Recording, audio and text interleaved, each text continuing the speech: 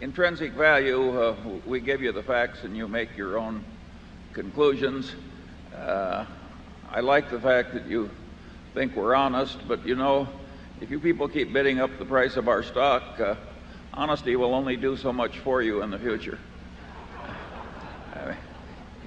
Yeah, we've never been tested. I mean, we're very lucky. We've never had, you know, we've never had anything that we needed really that we haven't had. And, you know, who knows what the situation would be if your family was starving or something. And So our intention is to continue in a position where we'll never be tested too, I might add.